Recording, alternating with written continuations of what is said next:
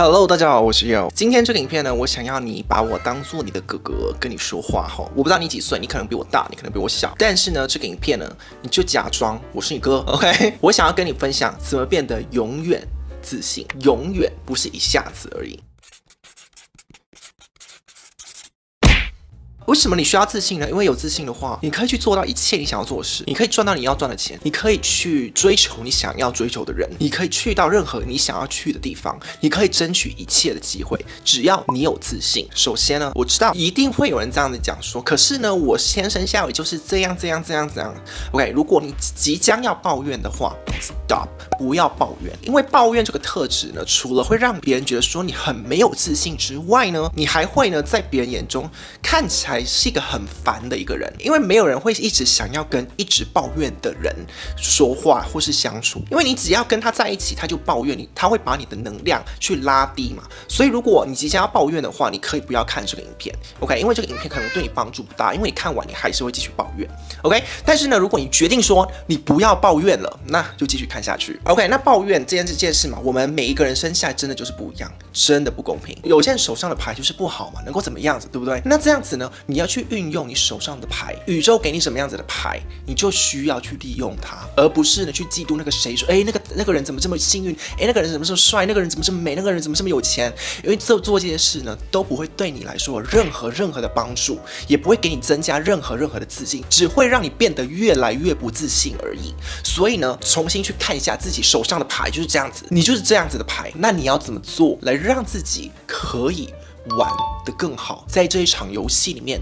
打得更精彩，甚至呢是赢了这一场。今天这影片刚开始的时候呢，我请你把我当哥哥看待嘛，对不对？因为我们家经历过很多经济状况，所以呢，我的两个弟弟呢都是基本上把我当爸爸在看待。我跟他们讲说做什么，他们就做什么，然后我会带他们去做这样子。所以呢，我从很年轻很年轻的时候呢，就当做一个爸爸的角色，所以我就是比较早熟一点啦。有一个网站有指出，这个网站叫做 PsychCentral.com，他说如果你要让你的小孩长大的时候变得很有自信。对自己有足够信心的话呢，他需要有足够的环境来。模仿这件事情，意思就是说呢，他需要模仿一个有自信的人，他需要从大人身上那边去学。那通常我们亚洲的小孩，很多人呢，我们的爸妈都会跟我们说，哎，你做的不够，你不管怎么做呢，就是不够。邻居家的小孩都是比较好，对不对？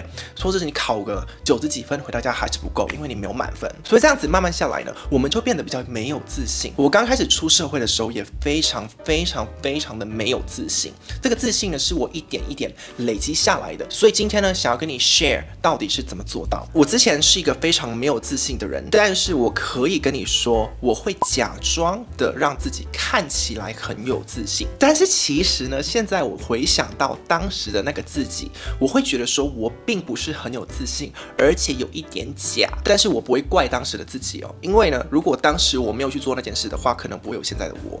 那我是怎么装法呢？比如说，我看到我身边自信比较好的朋友。友圈他们都在干嘛？他们做什么事？我有可能就会不自觉的去模仿去做那件事。他们听什么歌，我就会跟着听什么歌。他们去哪里，我可能呢就会想要去那里。他们怎么样子讲话的方式，我有可能呢就模仿起来了。所以你现在看到的我呢，有很多的特征呢，是从那个时候慢慢的去模仿起来的。直到呢我搬来台湾居住之后呢，我开始自己生活、自己工作之后呢，我才慢慢的从自己里面找到说，哎，原来。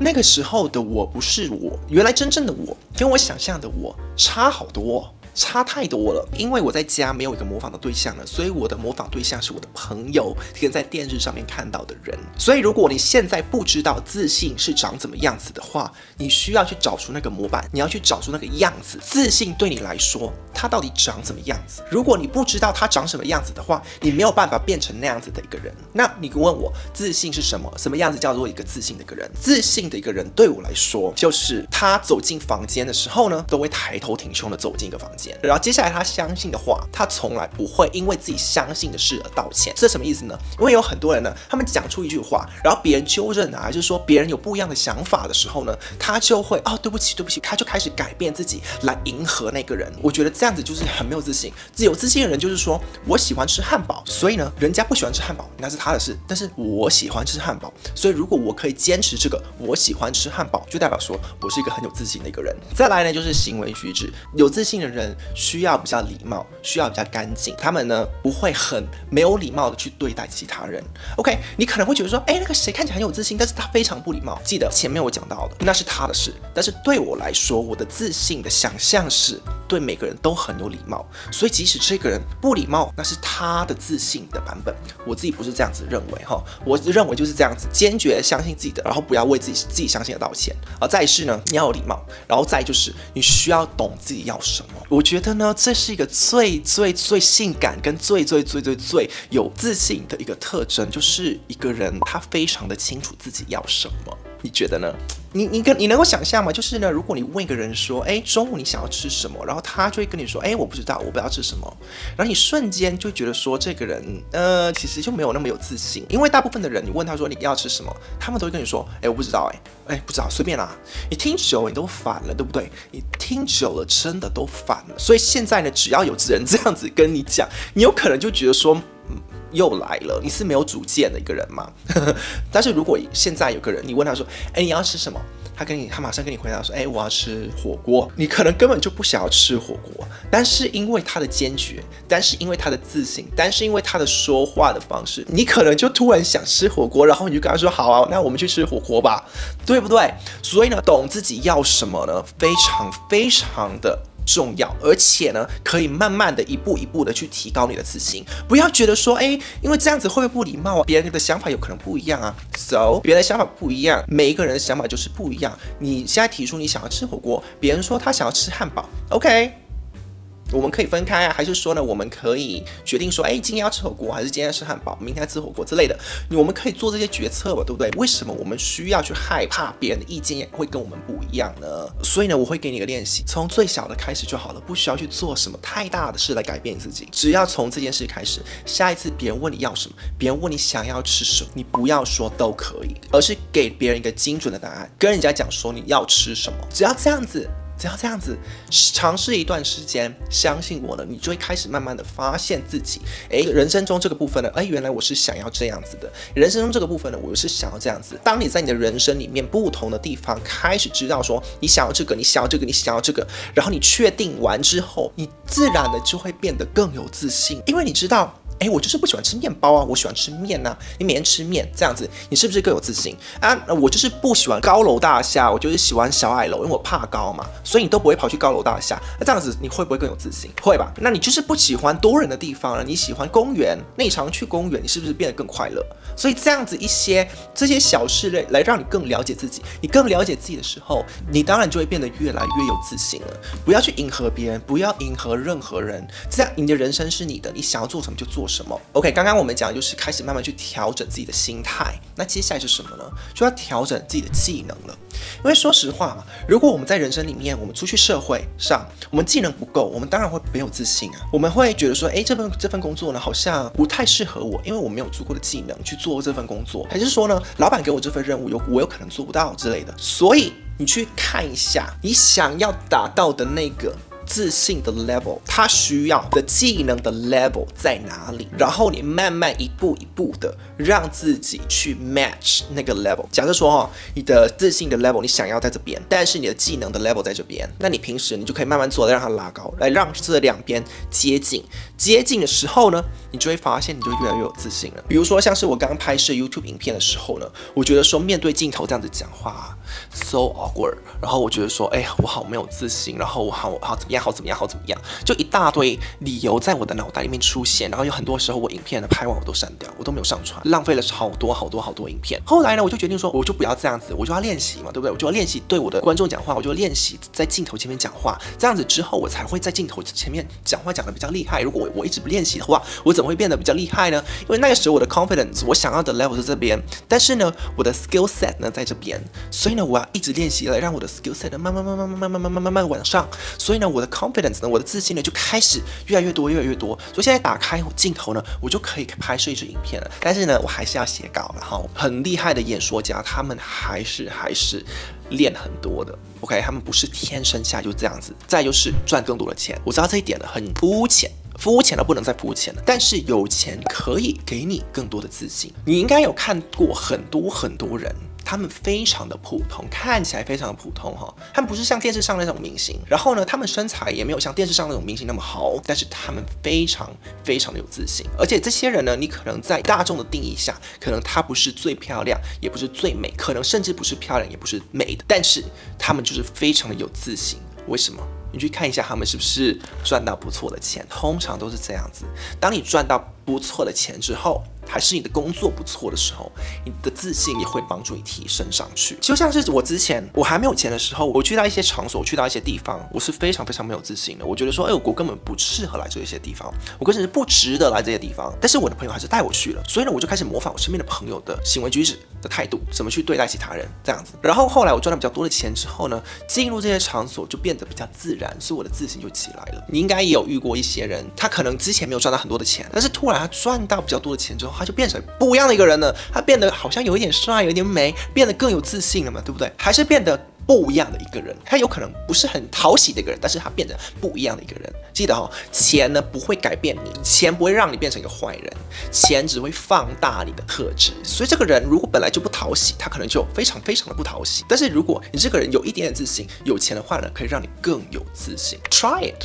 OK，其实我讲的你都可以去尝试看一看，没有一定的，我讲的也不一定对，你可以去尝试看看。接下来是开始慢慢的去做你想要做的事，每天一点点去做你想要做的事。刚开始我在拍 YouTube 频道的时候，我不知道你有没有注意到，我身材非常瘦小，我下面这一排的牙齿非常非常的歪，所以那个时候呢，我在拍影片的时候，我都会故意的不要露我下排的牙齿，我这样子讲话。然后只要有露下排牙齿，我都尽量的把那些片段都剪掉。我不喜欢自己的微笑，因为我的鱼尾纹很夸张，然后我的牙齿很歪，所以很多时候我的影片我都删除掉。现在呢，我回想了，我觉得说 so stupid，就是我们被我们想象这些坏处呢，像是枷锁一样把我们锁住。有的人枷锁比较多，有些人枷锁比较少，看你怎么想象。他要一个一个给我们帮助，所以呢，我们想要飞，我们飞不起来，是因为我们给自己套上这么多的枷锁太重了，所以我们要想办法。把这些枷锁拿掉，你不能一直想着自己啊，你不能一直想着说，哎，我没有办法做一件事情，因为我能力不够；，我没有办法做一件事情，因为我很丑；，哎，我没有办法做这件事情，因为我太胖。你如果一直想着自己、自己、自己的话，你基本上你太自私了。你在做什么，你都想着自己。有多少人需要你去做你该做的事情来帮助到他们？但是你没有在做啊，你都会想着自己嘛？哎，我不能拍，